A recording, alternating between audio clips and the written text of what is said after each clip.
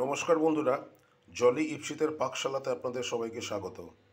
আমাদের আজকের রেসিপি পুরভরা কাঁকরোল বা স্টাফ কাঁকরোল যেটাকে বলে।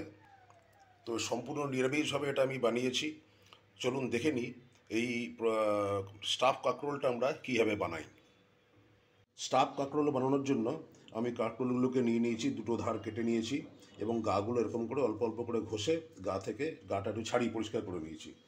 এখন এটাকে আমি হাফ করে কাটবো এবং এটাকে আমি এইভাবে কেটে আমি এটাকে বয়েল করার জন্য দেবো, হাফ বয়েল করার জন্য। বন্ধুরা পুর কাঁকরোল বানানোর জন্য আমি আগেই দেখিয়েছিলাম কাঁকরোলের গাটা পরিষ্কার করে আমি মধ্যেখান থেকে কেটে হাফ বয়েল করে নিয়েছি, সেটা ঠান্ডা হয়ে গেছে। ঠান্ডা হয়ে যাওয়ার পর এখন আমাকে এই কাঁকরোলগুলোর মধ্যে পুর ভরার জন্য ব্যবস্থা করতে হবে। তো এই কাঁকরোলের ভেতর থেকে, এই যে কাঁকরোলের ভেতরের যে অংশটা, সেই অংশটাকে আমি বের করে নিয়েছি। আমি দেখিয়ে দিচ্ছি কী করে বের করতে হয়। একটা পাতলা ছোট চামচের সাহায্যে ধারগুলো আস্তে আস্তে করে, এইভাবে একটা করে কেটে, যেমন করে ওই আইসক্রিম তোলা হয়, ঠিক সেইভাবে একটু হালকা হাতে, খুব বেশি প্রেশার দিলে আবার পেছন থেকে কাঁকরোলের বডিটা যেটা আছে, পেছনের পার্টটা সেটা কেটে যাবে। তো এইভাবে করে এর ভেতরের যে বীজ এবং অন্যান্য অংশ যেগুলো আছে, সেগুলোকে বের করে একটা ওপেন স্পেস ওই স্টাফিং ভরার জন্য তৈরি করে নিতে হবে। ঠিক এইভাবে। এবং এই যে জিনিসটা আমরা বের করে দিচ্ছি, এই জিনিসটাও আমরা এই পুরটা বানানোর সময় ব্যবহার করব। এটাকে আমরা এইখান থেকে বের করার পর মিক্সিতে একটু ঘুরিয়ে আমরা এটাকে একটু মিহি করে নেব। এবং দেখতে হবে যেটা পাকা যদি কোনো বীজ থাকে সেটাকে বাদ দিয়ে দিতে হবে। এইভাবে করে আমরা এই কাঁকরোলগুলোর মধ্যে একটু স্পেস বানিয়ে নেব, যাতে যার মধ্যে আমরা পুরটা ভরতে পারি। যখন আমি এই এই জিনিসটাকে পেস্ট করব, এর মধ্যে দিয়ে দেবো অল্প পরিমাণ আদা। আমি এখানে অলরেডি নিয়ে নিয়েছি খানিকটা সর্ষে আমি ভিজিয়ে রেখেছিলাম এবং পেস্ট করে নিয়েছি, কালো সর্ষে, একটু নুন এবং কাঁচা লঙ্কা দিয়ে পেস্ট করে নিয়েছি। আমি নিয়েছি এখানে নারকোল কোড়া। খানিকটা নারকোল কুড়িয়ে নিয়েছি এবং আমি নিয়েছি পনির। আপনারা ইচ্ছা করলে ছানাও নিতে পারেন। এটাকেও স্ম্যাশ করে আমি এগুলোকে সমস্তগুলো মিশিয়ে একটা মণ্ড মতন তৈরি করব স্টাফিং তৈরি করব, যেটা আমি এর মধ্যে ভরবো। তো এগুলোকে বন্ধুরা এখন আমি আগে একটুখানি মিক্স করে নিই। এবং এরপরে আমরা দেখাবো স্টাফিংটা কী করে বানাবো। এবার আমরা পুরটাকে, স্টাফিং যেটা আছে, স্টাফিংটাকে বানিয়ে নেব। তো স্টাফিংটা বানিয়ে নেওয়ার জন্য কড়াইতে আমি তেল দিয়ে দিয়েছি, সাদা তেল ব্যবহার করছি আমি। দিয়ে দিলাম দুটো তিনটে শুকনো লঙ্কা আর সামান্য পরিমাণ জিরে, গোটা জিরে। এটা যেই মুহূর্তে একটু ভাজা ভাজা হলো এর মধ্যে আমি প্রথমে দিয়ে দেব যেটা পেস্ট করে রেখেছিলাম কাঁকুল বয়েলড হাফ বয়েল কাঁকুলের ভেতর থেকে যেটা বেরিয়েছে, সেই অংশটা।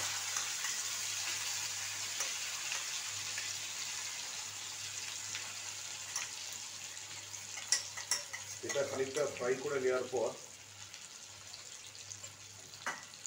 আমি এর মধ্যে পার্ট পার্ট সমস্ত জিনিসগুলো দেব।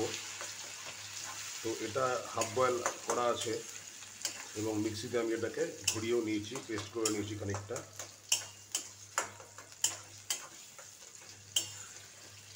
এর মধ্যে আমি দিয়ে দেব কুড়িয়ে রাখা নারকল।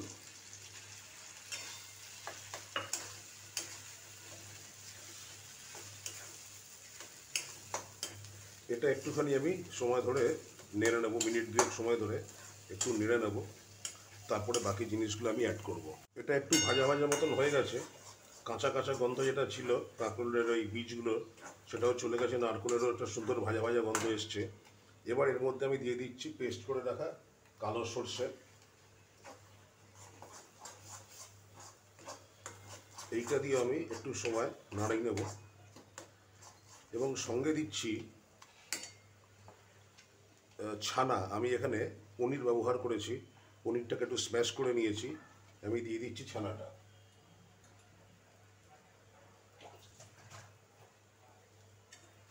এইটা আমি খানিকক্ষণ সময় ধরে একটু ফ্রাই করে নেব।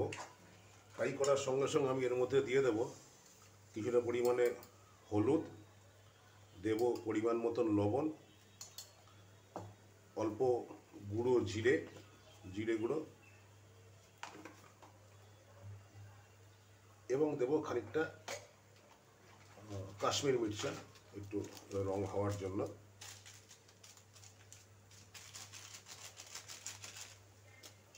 এইটা দিয়ে আমি মিনিট খানেক একটু ভালো করে এটাকে নেড়ে নেব, যে যতক্ষণ এর থেকে একটা ভালো সুন্দর গন্ধ বেরোয়। এবং পরের দিকে আমি এর মধ্যে অ্যাড করব সামান্য চিনি। একটা ব্যালেন্সিং টেস্টের জন্য। এটা সম্পূর্ণ নিরামিষ একটা ব্যাপার এবং তাতে একটু মিষ্টির ব্যাপারটা থাকলে ভালো লাগে। তো এটা করতে করতে আমি এর মধ্যে মিলিয়ে নেব শেষের দিকে অল্প চিনি। তো এটাকে খানিকক্ষণ সময় ধরে আমি একটু নাড়িয়ে নিই। এটা আমি মিনিট পাঁচেক সময় ধরে লো টু মিডিয়াম ফ্লেমে এটাকে করে নিয়েছি, রান্না করে নিয়েছি এবং দেখেই বুঝতে পারছেন বেশ খানিকটা ড্রাই হয়ে গেছে এবং গ্যাসের ফ্লেমটা আমি অফ করে দিলাম।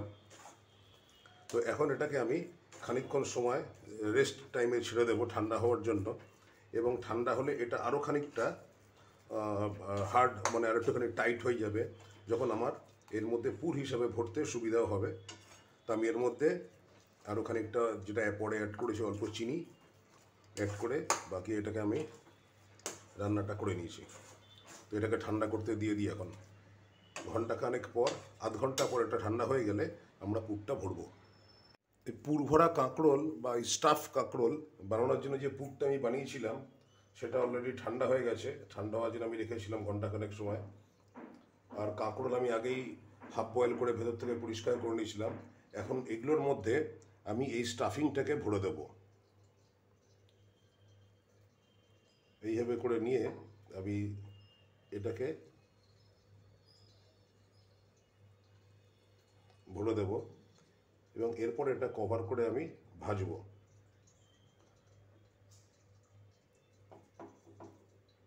খুব হালকা হাতে একটি চামচের সাহায্যে যে পুর যেটা বানিয়েছিলাম, পুর মানে আমি বানিয়েছিলাম এর মধ্যে কাঁকরোল বয়েল করার পরে যে জিনিসগুলো ভেতর থেকে বের করেছিলাম, সেখান থেকে পাকা বীজগুলো সরিয়ে দিয়েছিলাম।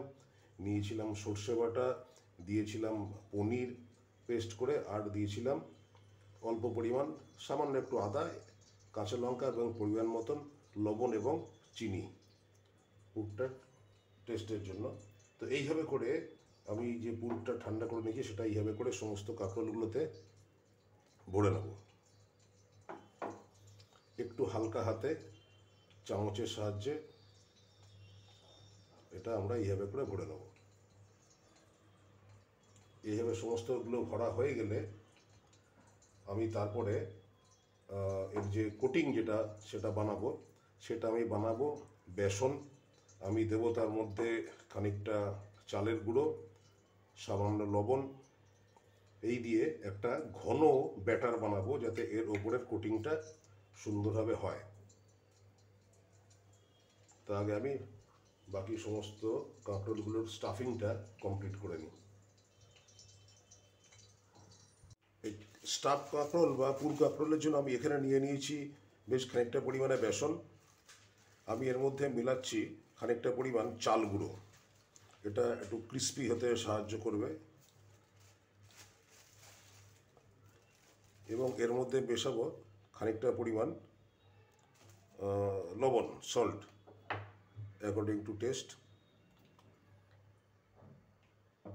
এটাকে ভালো করে মিলিয়ে নেব।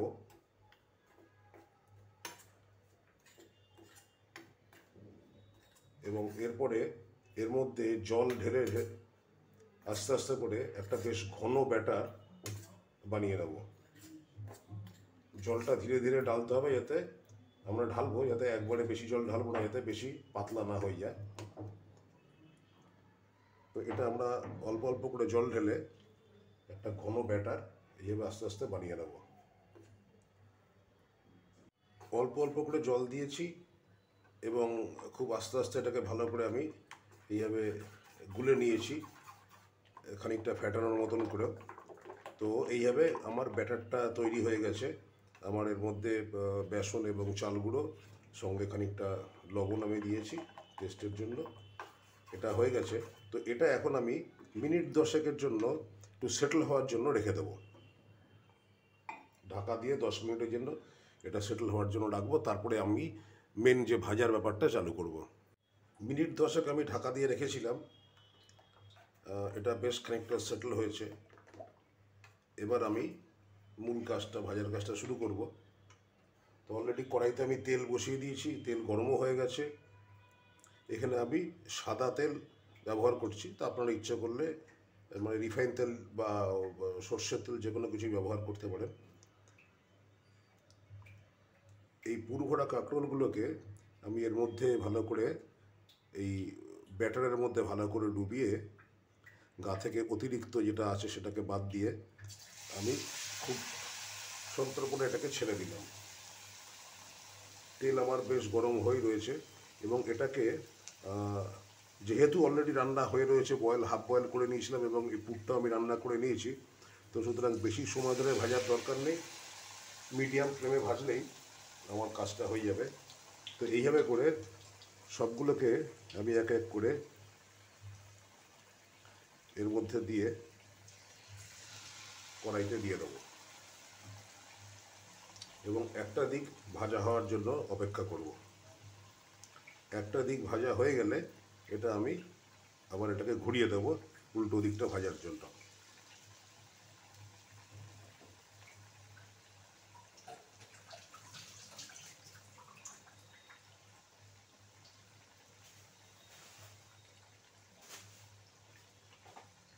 তেলটা বেশ গরম হয়েছিল তো খুব তাড়াতাড়ি একটা দিক ভাজাটা হয়ে গেছে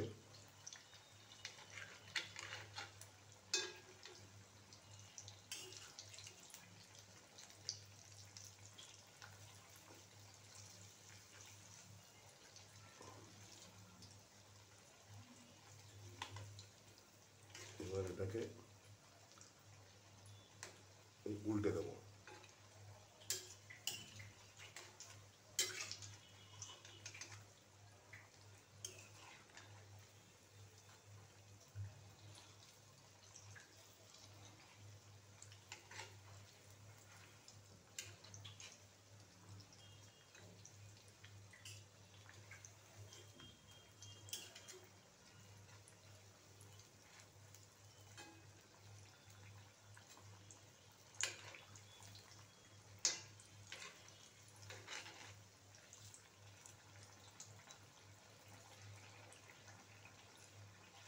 তো পুরভরা কাঁকরোল বা স্টাফড কাঁকরোল এটা আমাদের, সেইটা আমাদের এগুলো পুরোপুরি ভাজা হয়ে গেছে, রং দেখেই বুঝতে পারছেন।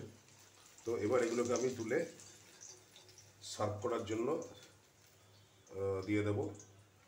তো এটা মূলত নিরামিষ একটা আইটেম যেটা আপনারা ভাতের সাথে বা পরোটার সাথে অনায়াসেই খেতে পারেন এবং আলাদা এমনি এমনিও খেতে পারেন। তা আমাদের আজকের এই রেসিপিটা স্টাফ কাঁকরোল বা পুরভরা কাঁকরোল আপনাদের কেমন লাগল অবশ্যই আমাদের জানাবেন। ভালো লাগলে বন্ধুদের সাথে শেয়ার করবেন, বাড়িতেও চেষ্টা করবেন বানানোর খুব সুস্বাদু একটা খাবার। আর আমাদের নতুন বন্ধুদের কাছে অনুরোধ, যারা আমাদের এই চ্যানেলটি এখনও সাবস্ক্রাইব করেনি সাবস্ক্রাইব করবেন এবং পাশে থাকা বেল আইকনটি অবশ্যই প্রেস করে দেবেন। যে যখনই আমাদের নতুন কোনো রেসিপি আমরা পোস্ট করব, আপনাদের কাছে সবার আগে নোটিফিকেশান পৌঁছে যাবে। আজকের মতো এই পর্যন্তই বন্ধুরা। ভালো থাকবেন সুস্থ থাকবেন ধন্যবাদ।